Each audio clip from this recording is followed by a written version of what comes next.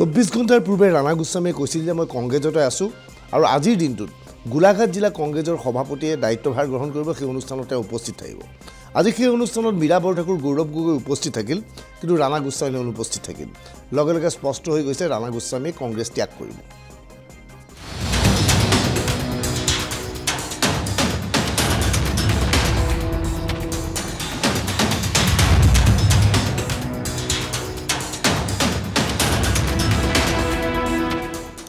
কংগ্ৰেছৰ আৰু এজন খিলঞ্জীয় নেতাই কংগ্ৰেছ ত্যাগ কৰিবলৈ সাজু হৈছে। সেইজন হৈছে ৰাণা গোস্বামী।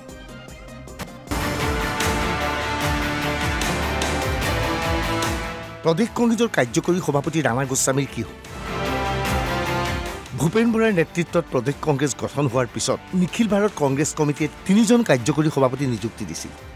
উজনিৰ পৰা ৰাণা গোস্বামী নামনিৰ পৰা জাকিৰ হুছেইন চিকদাৰ আৰু বৰাক উপত্যকাৰ পৰা কমলাক্ষদেৱ পুৰকায়স্থ।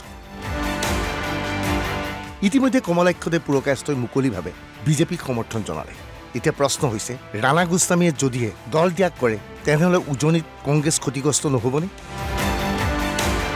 এইবাৰ এই চিঠিখনলৈ মন কৰক। ৰাণা গোস্বামীয়ে প্ৰদেশ কংগ্ৰেছৰ সভাপতি ভূপেন বৰালৈ লিখা এখন পত্ৰত উজনি অসমৰ সকলো দায়িত্বৰ পৰা অব্যাহতি বিচাৰিছে। এই সংক্ৰান্তত প্ৰতিক্ৰিয়া বিচৰা হৈছিল বিৰোধী দলপতি দেৱব্ৰত শইকীয়াৰ পৰা।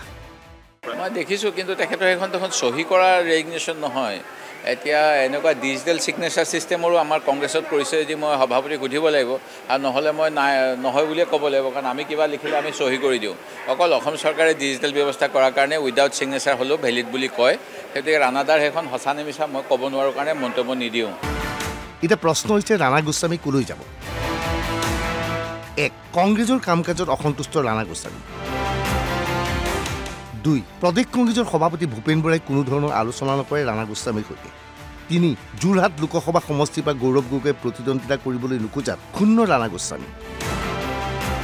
চাৰি ৰাণা গোস্বামী নিশ্চিত ইয়াৰ লগে লগে কংগ্ৰেছ উজনি অসমত শেষ হ'বলৈ গৈ আছে। পাঁচ মুখ্যমন্ত্ৰী হিমন্ত বিশ্ব শৰ্মাই যোৰহাট বিধানসভাৰ পৰা প্ৰতিদ্বন্দ্বিতা কৰিব ওলোৱাত ৰাণা গোস্বামীৰ ৰাজনৈতিক ভৱিষ্যত অন্ধকাৰ হৈ পৰিছে।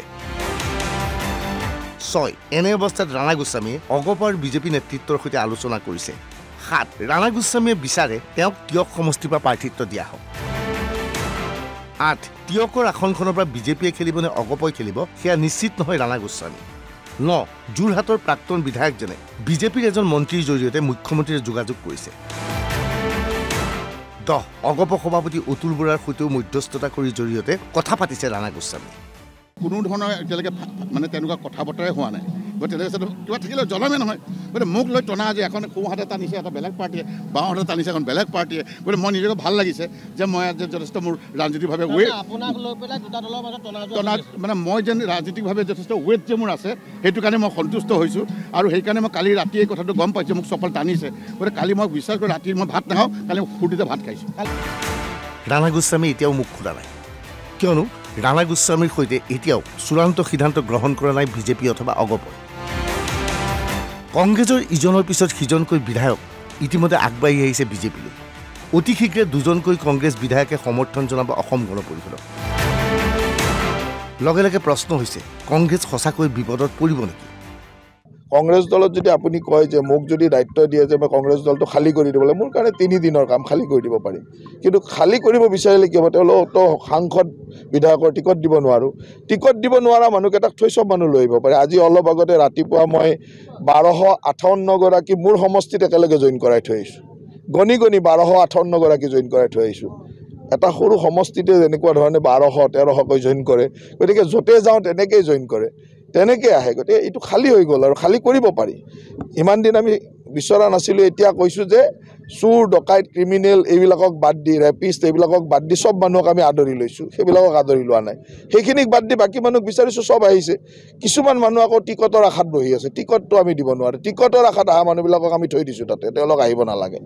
টিকট নিবিচৰাকৈ যোনে ৰাষ্ট্ৰ সেৱা কৰিব আহে তেওঁলোকৰ দুৱাৰ খোলা আছে। আৰু সেইকাৰণে কংগ্ৰেছ দলটো মোটামুটি খালীয়ে হৈ যাব। এইটো চিন্তা কৰিব নালাগে। নগাঁৱত চৌব্বিছ ঘণ্টাৰ পূৰ্বে মুখ্যমন্ত্ৰীৰ ঘোষণা। মুছলমান বিধায়কৰ বাদে আন সকলো আহিব বিজেপিলৈ। বিজেপি দলৰ পৰা অসম চৰকাৰৰ মুখ্যমন্ত্ৰী ডাঙৰীয়াৰ পৰা মন্ত্ৰীসকলৰ পৰা কংগ্ৰেছ দলৰ কৰ্মী হিচাপে মোৰ লগত আন কোনোবাই তেওঁলোকে আমাৰ কিবা ভাল কোৱা বুলি আমি ভাবোঁ নেকি কেতিয়াও? কোনো দিনটো নকয়। বিজেপি দল কংগ্ৰেছ দলৰ সদায় বিপৰীত এটা দল। তেওঁলোকে কংগ্ৰেছ দলৰ কংগ্ৰেছ দলৰ কংগ্ৰেছ দলৰ কংগ্ৰেছ নেতাকৰ্মীসকলৰ বেয়া চিন্তা তেওঁলোকে কৰিব। সদায় তেওঁলোকে বিজেপিয়ে ভাবিব কংগ্ৰেছ দুৰ্বল হৈ থাকক। শেষ কেতিয়াও কোনেও কৰিব নোৱাৰে। কংগ্ৰেছ দলক নিশেষ কৰিব নোৱাৰে। কংগ্ৰেছৰ ইতিহাস আছে। ইতিহাস এটা থকা এটা দল কেতিয়াও শেষ হ'ব নোৱাৰে। কংগ্ৰেছত খিলঞ্জীয়া কোন থাকিব? কংগ্ৰেছ এসময়ত মিয়াৰ দললৈ পৰিণত হ'ব নেকি? চাওক আমি আগৰ পৰাই কৈ আছোঁ যে যিকোনো খিলঞ্জীয়া অসমীয়া ভাৰতীয় মূলৰ যিকোনো ব্যক্তি যি পাৰ্টীতে নাথাকক ভৱিষ্যতে ভাৰতীয় জনতা পাৰ্টীৰ কাৰ্যকৰ্তা। গতিকে তাৰ ক্ষেত্ৰত কোনো ব্যতিক্ৰম নহয় কোনোবা আজি কোনোবা কালি। গতিকে ঘটনা ঘটিয়ে থাকিব আৰু কংগ্ৰেছ দল এটা সময়ত কেৱল আপোনাৰ সন্মানীয় মিয়াসকলৰ পাৰ্টী হৈ ৰ'ব। কংগ্ৰেছৰ বিধায়কসকলে এইদৰে কংগ্ৰেছ ত্যাগ কৰিছে। লোকসভাৰ নিৰ্বাচনৰ প্ৰাক মুহূৰ্তত এনেবোৰ ঘটনা সংঘটিত হৈছে। কিন্তু ইয়াক লৈ চিন্তিত নহয় গৌৰৱ গগৈ। প্ৰশ্নটো এতিয়া কেতিয়াও নোলায় যে টিয়কৰ ভিতৰত অগপ আৰু বিজেপিৰ মাজত কিবা সংঘাত আছে নেকি? সেইখিনি প্ৰশ্ন আকৌ নোলায়। এই প্ৰশ্ন নোলায় যে আমি কেন্দ্ৰীয় মন্ত্ৰী সৰ- সৰ্বানন্দ সোণোৱাল ডাঙৰীয়া আৰু অসমৰ মুখ্যমন্ত্ৰী হিমন্ত বিশ্ব শৰ্মা ডাঙৰীয়া আমি দুয়োজনকে একে মঞ্চত আমি নেদেখোঁ। এই প্ৰশ্নটো নোলায়। তো সেইকাৰণে এই ধৰণৰ প্ৰশ্নৰ যোগেদি আমি গম পাইছোঁ যে কিছু আমাৰ বিজেপি মানুহবোৰ মিডিয়াৰ যোগেদি এনে এটা প্ৰচাৰ কৰিবলৈ বিচাৰিছে। আমাৰ দল একত্ৰিত হৈ আছে আৰু আমাৰ দলটো এতিয়া আৰু ভাললৈহে গৈছে। এতিয়া যিমান আমাৰ দলৰ ভিতৰত বেমাৰী আছিল এই গোটেইবোৰতো বেমাৰী এতিয়া আমাৰ এই বিজেপি দলত সোমাইছে। উল্লেখযোগ্য যে গৌৰৱ গগৈয়ে নগাঁও লোকসভা সমষ্টিৰ পৰা প্ৰতিদ্বন্দ্বিতা কৰাটো নিশ্চিত। গৌৰৱৰ ধাৰণা নগাঁৱৰ মুছলমান ভোটাৰে বিজয় কৰি নিব Gaurav Gogoi. Bureau' report N B news.